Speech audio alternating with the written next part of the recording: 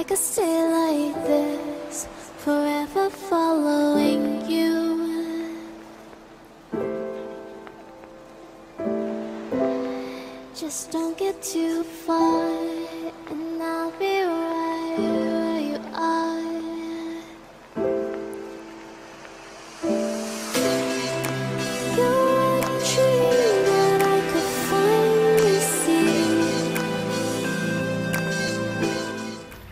Guys, so nandito kami sa Baguio and ano to, parang rest house ata o bakasyonan ng family ni Mama Sita.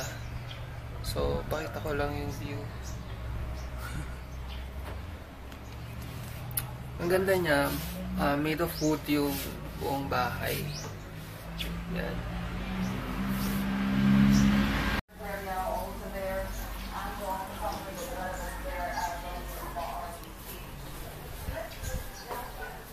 Ito yung back part ng house.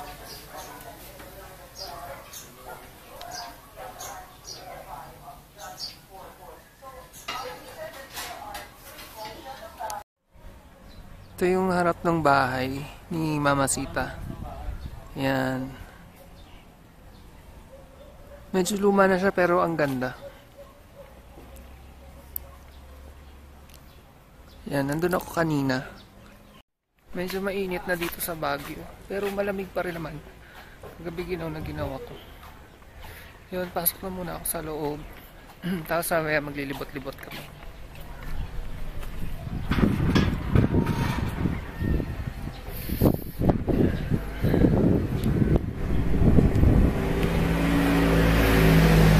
Ganda rin ang view dito pagpasok. Ayan. Pagpasok, ayan yung may view din. Tapos ang lakas ng hangin. Tarik. Iba yung nakatira sa baba. Siguro may umu, pinapaupahan. Or baka kamag-anak din, not sure. Dito kami sa taas. And pinaparentahan daw to if gusto nyo magbakasyon.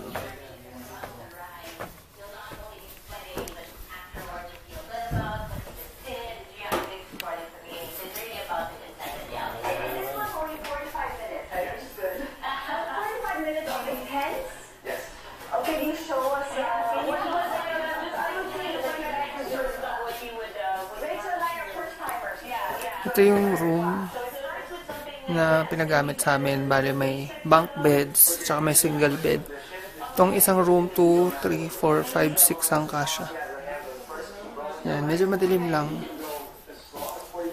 Meron ding fireplace. Yan. Yun yung nasa gitna fireplace. Yan. Tapos may bar doon. Doon din yung kitchen.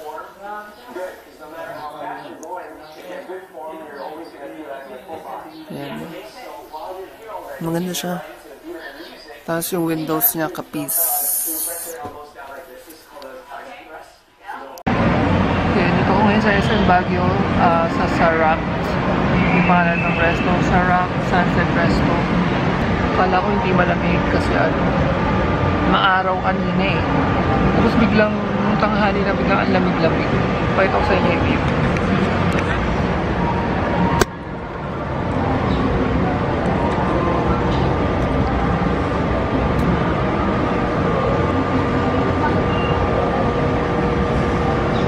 Medyo against the light kaya ah, parang ang dilim. So ito yung pangalan ng resto. Sarap. Sarap.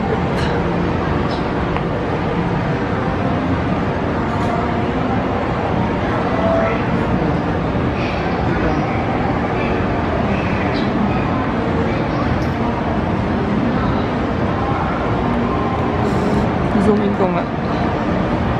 Yan. Dami ng bahayan, ano? Parang puro bahay na yung view. Pero okay pa rin naman. Maganda pa.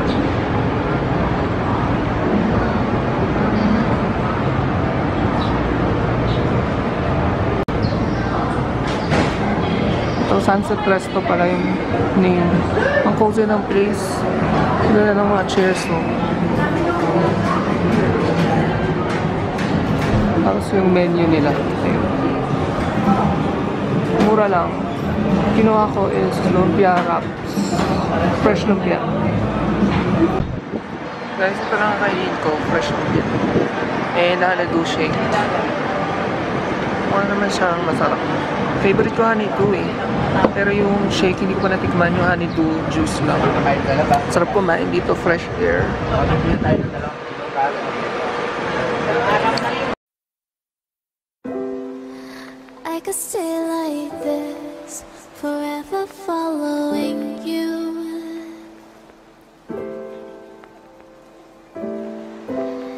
Just don't get too far, and I'll be right where you are. Hey guys, so nandito kami ngayon sa Bencab Museum. And papakita ko na lang yung mga ibang clips. Meron naman akong vlog dito dati.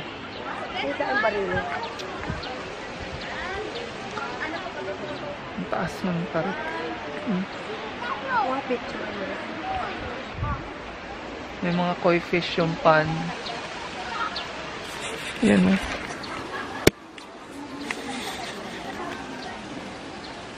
Kaso medyo madumi yung pan ngayon. Pero ang lalaki na nung koi fish. Daming tao. Mas maganda dito pag konti lang yung tao. Last time na punta ako, konti lang eh.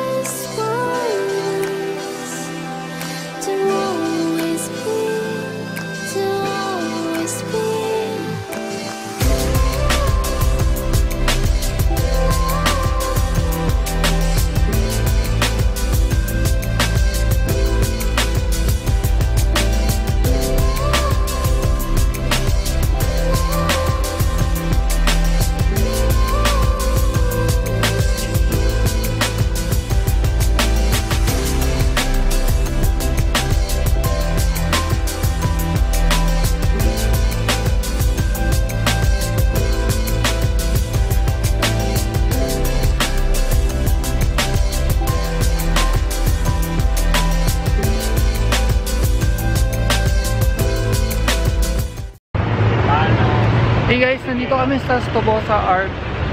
Ang tawag dito? Stobosa Art Mural. Yung iba-ibang kulay nung house. Ginawa to dahil ano daw, ang pangit daw ng view dati dito. Tapos parang ginaya nila sa Brazil. Kinulayan yung mga bahay. So, pakita ko lang. Yan. Parang may ganitong place daw sa Brazil eh. Kaya ngayon, naging tourist destination na rin siya dito. So, nandito kami ngayon sa parang hanging bridge. Medyo mauga. Nakakatako. Marami dumadaan. And, malalim siya pag nagulog ka. Pero ang ganda ng mga bahay. Hindi ako kayong 360 view.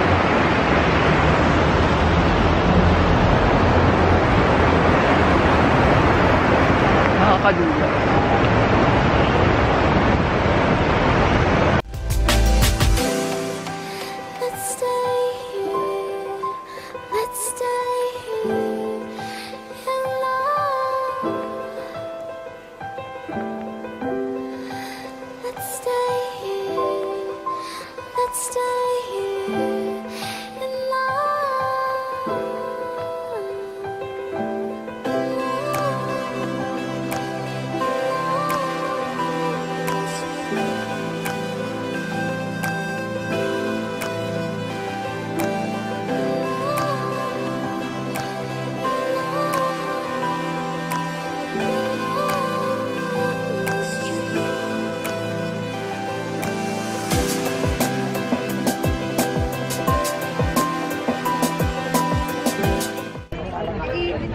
Guys, nandito kami sa strawberry farm and ang pinakamagandang months daw na pumunta dito is first quarter of the year. So, ah, ngayon is February. So, okay, paabot pa kami. Kaya lang sobrang init. Hindi, Hindi kagaya pag umaga malamig. Pag ganito, tanghali kasi init. 450 per kilogram. Pag ikaw kukuha, medyo mahal na.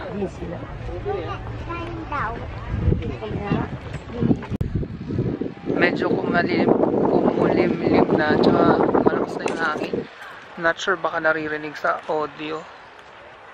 And, ayun. Ano ba sabihin ko? Namimita si mama ng cherry tomatoes. 200 pesos per kilo. Medyo mahal talaga yung cherry tomatoes. Tapos, medyo lumamig na yung hangin. Mainit. Pero yung hangin malamig. Yan, parang uulan kasi. Kanina, tirik na tirik yung araw. Itim-itim ko na. Yan. Hindi kami makapitas ng strawberry kasi tanghali na. Na harvest na raw.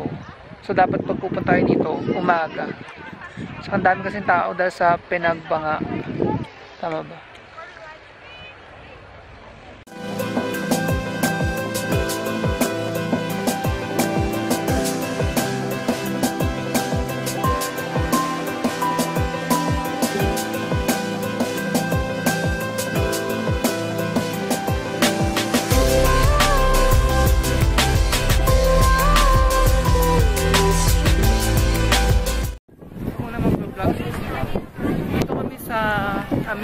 Sunflower Maze sa Pangasinan. And grabe ang hassle-hassle pumunta. Tapos pagdating dito, sobrang init. Sorry, pero sana ayusin nila yung daan nila. Yun. Pero okay naman pag pasok na dito. So, andito na kami. Yan. Medyo mainit pero maya maya may ulap ako nakikita. Daming tao. Bigla kasing sumikat to eh.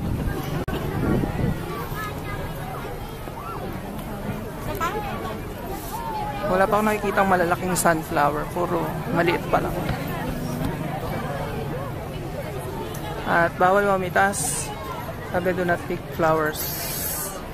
Ayun, may malaki na. Parang tuyot naman. tuyot na yung sunflower. Oh. Kawawa naman. 100 pesos nga pala yung entrance fee kapag senior or student 80 pesos lang. May mga paandar pang ganyan pwede mag picture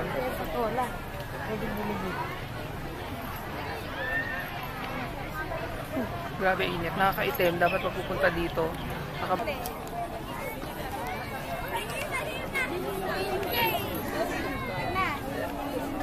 Gulo na daming tao. Mas maganda sana may limit.